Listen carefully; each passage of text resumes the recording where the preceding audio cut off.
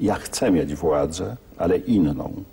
Tą, która wypływa z argumentacji, z meblowania głowy. Mam taką ambicję.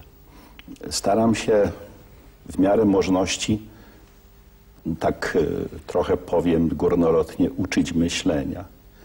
I to jest marzenie dla mnie, władza poprzez myślenie. Nie czyni niczego takiego, do czego nie jesteś y, przekonany. Ja cię do niczego takiego nie namawiam. I tu jest moja ambicja. Natomiast boję się każdej innej władzy.